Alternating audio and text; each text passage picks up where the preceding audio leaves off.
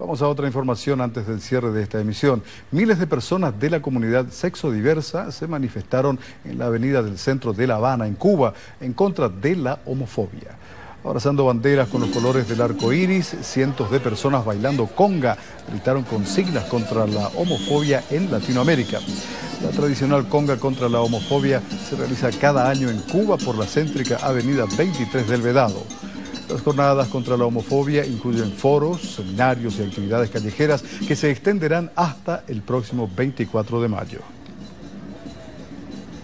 La sociedad cubana avanza en esta lucha son cada vez más las instituciones y los grupos sociales que nos apoyan, que se nos unen, aunque enfrentamos todavía resistencia por parte de personas que no comprenden innegable naturaleza inclusiva del proceso revolucionario cubano.